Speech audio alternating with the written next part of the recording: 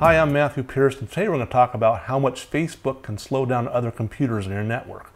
Now, when you're just using Facebook to browse and look at other people's feeds and write comments, you're not going to notice it unless you have a super, super slow network connection, like a dial-up, maybe 1200 baud or slower, because Facebook, in that case, just doesn't use much bandwidth. You're just not going to see much you know, of your network bandwidth used up. However, if you start playing videos off of Facebook or if you use Facebook chat, then you'll start eating into your network bandwidth.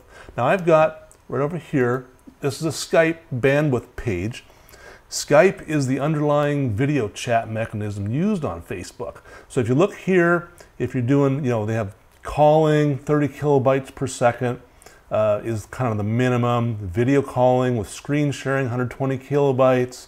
Um, once you start getting up there, then you really start you know, using up some of your bandwidth.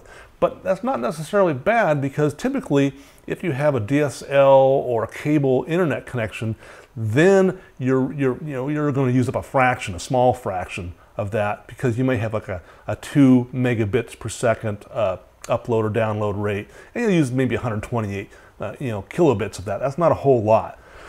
However, if you are video chatting on your LAN, your local area network, maybe you have a Wi-Fi network in your house and you're going to start talking to people, then you're really going to start eating up some bandwidth if you go through Facebook.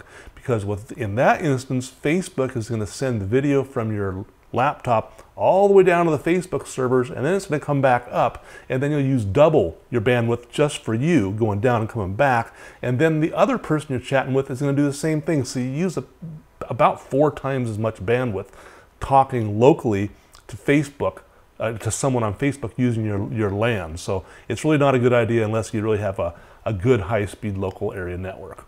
My name is Matt Pierce. Thanks for watching.